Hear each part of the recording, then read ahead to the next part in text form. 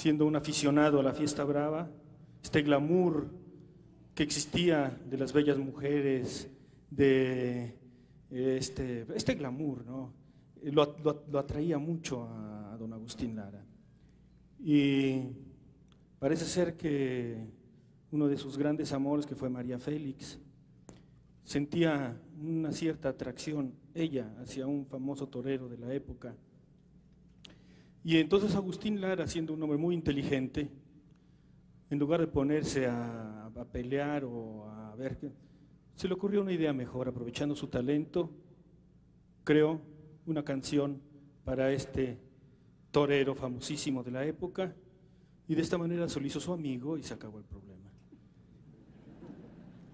Esta es una, es una leyenda, esta es una leyenda desde luego, que a veces nosotros que estamos viendo el mundo desde acá se nos antoja que fuera real.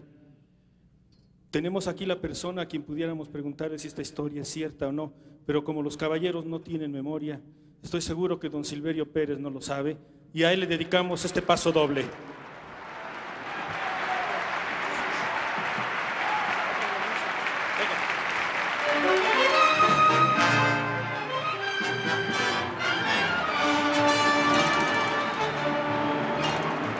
Mirando torear a Silverio me ha salido de muy hondo lo gitano de un cantar.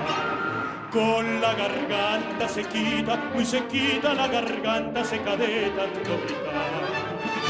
Silverio, Silverio Pérez, monarca del redondel, tormento de las mujeres, a ver quién puede con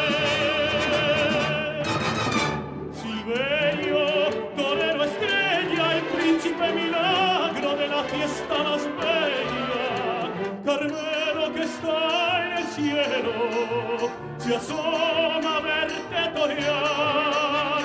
Silverio, torero estrella, el príncipe milagro de la fiesta más bella, Carmelo que está